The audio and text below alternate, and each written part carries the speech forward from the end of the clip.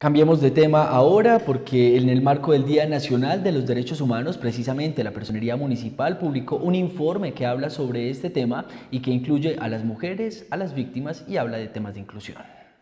La Personería Municipal publicó en el marco de la Semana de la Paz y articulado como una de las acciones o actividades también a desarrollar dentro de esta Semana por la Paz el informe de derechos humanos que corresponde a la vigencia del año 2021. Es la segunda versión del informe de derechos humanos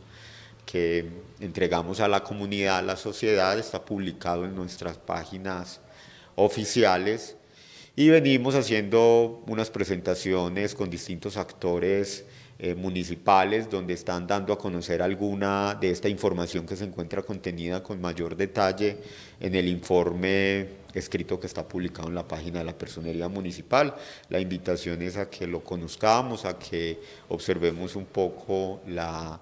eh, lo que puede ser la realidad o una aproximación a la realidad en materia de derechos humanos en el municipio de Guarne, donde en términos generales podemos dar un buen balance eh, en materia de, protección de derechos humanos, eh, pues también haciendo mención a que hay algunos asuntos que pues merecen o requerirán mayor atención que otros, pero que en términos generales hay, un, hay una percepción de respeto por derechos humanos en el municipio de Guarne, con múltiples problemáticas que, pues que eh, de igual manera tendrán que seguir siendo atendidas, unas en mayor medida que otras, pero que el panorama, eh, como lo percibe la personería, es, es positivo en ese sentido. El municipio de Guarne se ha venido consolidando como un municipio receptor de víctimas de desplazamiento forzado en el marco del conflicto armado para el año 2021 recibimos 41 declaraciones de familias víctimas de este flagelo. La mayoría de las víctimas de desplazamiento forzado que llegan al municipio de Guarne son provenientes del Bajo Cauca antioqueño, por las dinámicas propias del conflicto armado y cómo, se ha,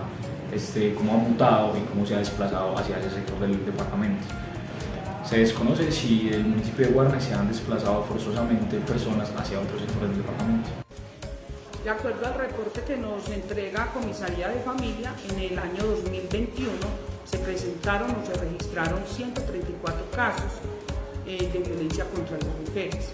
Estos casos de violencia en su mayoría son en la zona rural de nuestro municipio, ejercida por eh, sus exparejas y son mujeres relativas, son jóvenes, jóvenes adultas entre unos 31, entre los 31 y 41 años de edad y estas violencias están en la...